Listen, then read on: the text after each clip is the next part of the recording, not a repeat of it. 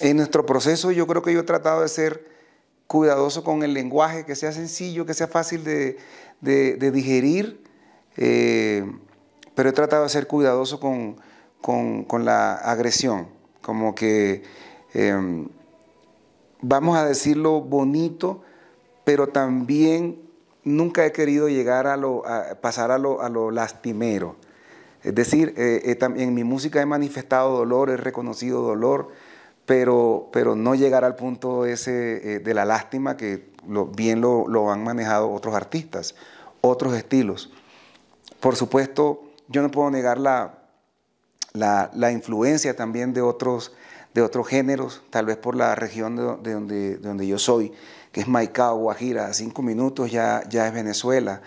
Eh, yo crecí rodeado de vallenato raizal, fuerte, costumbrista, Diomedes Díaz, los hermanos Zuleta, los Betos, Jorge Ñate, pero al mismo tiempo recibía de Venezuela Montaner, Franco de Vita, eh, Ilan Chester, eh, eh Guaco, Reinaldo Armas.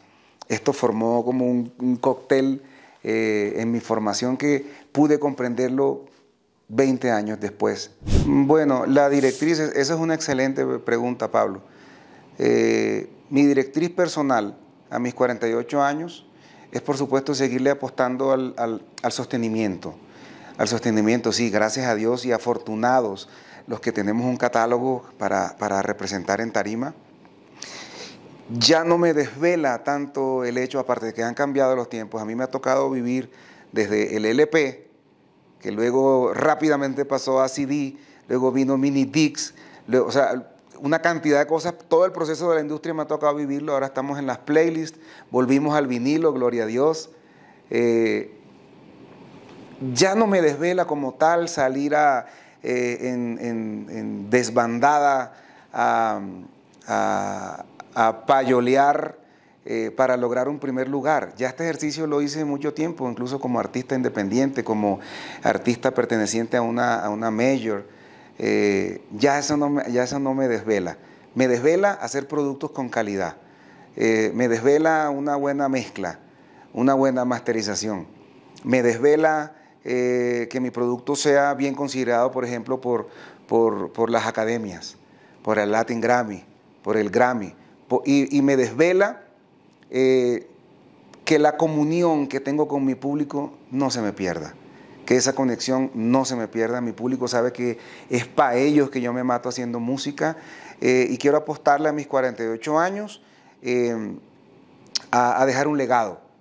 Un legado que, mis hijos y que mis nietos el día de mañana eh, sostengan con orgullo.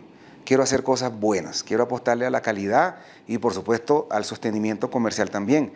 quiero apostarle... Mm, a, giras exitosas, a seguir innovando, a que el día de mañana Dios mediante eh, eh, la industria pueda reconocer mi labor y sobre todo, ¿sabes a qué, Pablo? Apostarle a, crecer en, percepción, a crecer en marca. La primera vez que yo tuve acercamiento con el mundo sinfónico fue con Tan Natural. En ese momento, precisamente, eh, un gran maestro venezolano de la cuerda de trabajo de Montaner, que se llama Yasmil Marrufo, un gran autor y productor multipremiado. Él fue el que me asesoró con esta canción y me dijo, grabémosla con la Sinfónica de Miami. Y yo, wow, hicimos el esfuerzo, Sony le gustó y tal. Cuando yo escuché esa vaina, Dios mío, o sea, esto es otra cosa me enamoré, o sea, me enamoré perdidamente de los sinfónicos. Yo, qué cosa tan linda. Y me quedé como con la intriga, la intriga, la intriga. Seguí molestando con el tema, yo, yo quiero hacer esto. Cuando ya conocí el álbum de Montaner, por intermedio de Yasmil, le llegué a Montaner y lo agarré, maestro. ¿Cómo es esto? Le hice 10 mil preguntas. Tan, tan, tan, tan, tan. ok, ya me explicó. Y él me puso en contacto con el maestro José Luis García, quien fue eh, quien hizo los arreglos.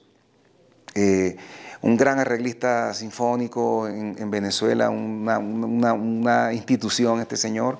Y él me dijo, ve con José Luis, que con José Luis va súper bien. Él es amigo mío de infancia. Entonces, loco, lo pasamos a bachata, eh, De pronto hicimos, por ejemplo, Vestirte de Amor, que suena un, suena un poco más flamenco, pero por ejemplo me dijo, esta puya sinfónica yo creo que va a ser de mis obras maestras. Cuando ese, y todo nació, y todo nació, y todo nació porque le dije, maestro, ¿sabe una cosa? Él me, él me mandaba como varias opciones de arreglos. Yo dije, maestro, la intención de lo que usted está haciendo está tan bacana. Usted me puede complacer a mí. Claro, dígame, eh, en lo que pueda voy. Dije, yo, yo quiero, yo no sé nada de música sinfónica, pero hágame por lo menos dos, tres compases, algo que suene como a Beethoven. Me dijo, ah, ¿quieres algo así beethoveniado? Digo, sí, espérate ahí cuando me mande el arreglo. Yo dije, Dios mío, este tipo es un monstruo. Bueno, bueno, fíjate Pablo, eh, esa, esa unión de mi música con la cultura venezolana, eh, ojo, yo nazco en Venezuela, pero mi pueblo queda a hora y media de Maracaibo. Eh, yo, yo crezco y me, formo en Maicao, pero todo el tiempo Venezuela, Venezuela, Venezuela. Para nosotros en esa zona, la zona fronteriza es fin de semana, vamos para Maracaibo. Eh, las compras, Maracaibo. Plan de adolescentes, vamos a echar gasolina al carro porque allá el combustible era prácticamente gratis. Entonces vamos a Venezuela, o sea, pasar la frontera 20 minutos, un heladito, y nos regresamos. Eh, ¿Dónde vamos a almorzar? No, es en Maracaibo. Entonces nos íbamos en la mañana, nos regresamos en la tarde. O sea, siempre, siempre, siempre, siempre. Cuando, cuando ya yo vengo de La Guajira eh, a Bogotá y comienza mi música a sonar, es ahí cuando literalmente como que explota eh, la noticia de que soy colombo venezolano. Y los venezolanos quedaron, por supuesto, felices con esta noticia eh, y bueno, y, musicalmente, gracias a Dios, hicimos clic con esta cultura porque no es, cualquiera eh, que, tiene la, la bendición por así decirlo, de hacer clic musical con una cultura. Hay cosas que se dan en forma natural. Así que cuando me di cuenta que tenía un público cautivo allá supremamente interesante, empecé también a darle duro a la promoción allá.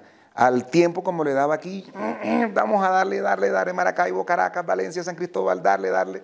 Obviamente somos países hermanos, así que facilita, facilita mucho las cosas.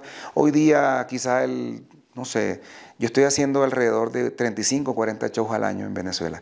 Eh, la diáspora venezolana por el mundo eh, se convierte casi que en el 50% de las personas que asisten a mis conciertos. O sea, la unión, la unión es muy, muy, muy fuerte.